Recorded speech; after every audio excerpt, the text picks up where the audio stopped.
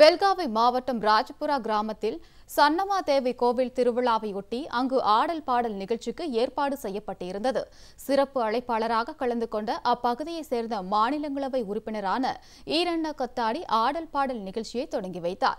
அப்போது மேடை அருகே இருந்த எலக்ட்ரிக் மின் கம்பம் ஒன்று திடீரென மேடை மீது விழுந்ததால் பரபரப்பு ஏற்பட்டது. இதில் நல்வாய்ப்பாக ஈரண்ண கட்டாடி உயிர் தப்பினார். அதேபோல் மேடையில் அமர்ந்திருந்த இருபதற்கும் மேற்பட்டோர் உயிர் தப்பினர். இச்சம்பவத்தில் காயமடைந்த ஐந்து பேர் மருத்துவமனையில் அனுமதிக்கப்பட்டுள்ளனர்.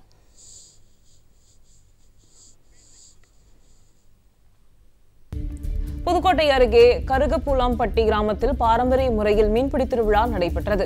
இதில் பொன்னமராவதி மற்றும் அதன் சுற்றுவட்டார பகுதியைச் சேர்ந்த ஏராளமானோர் கலந்து கொண்டு ஆர்வத்துடன் மீன்பிடித்தனர். வலை கூடை உள்ளிட்டவற்றின் உதவியுடன் கெளுத்தி குறவை ஜிலேபி கெண்டை கட்லா உள்ளிட்ட நாட்டு வகை மீன்களை அவர்கள் அள்ளிச் சென்றனர்.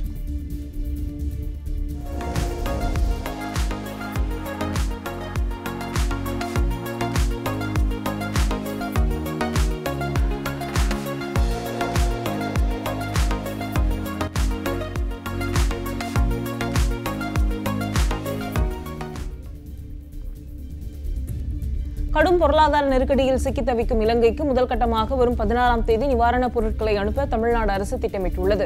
சென்னை துறைமுகத்தில் இருந்து முதற்கட்டமாக பத்தாயிரம் டன் அரிசி மற்றும் பால் பவுடர் மருந்து பொருட்கள் அனுப்பப்பட உள்ளன. இதைத் தொடர்ந்து மே இருபத்தி இரண்டாம் தேதிக்கு பிறகு இரண்டாம் கட்டமாக நிவாரணப் பொருட்களை அனுப்ப தமிழ்நாடு அரசு முடிவு செய்துள்ளது.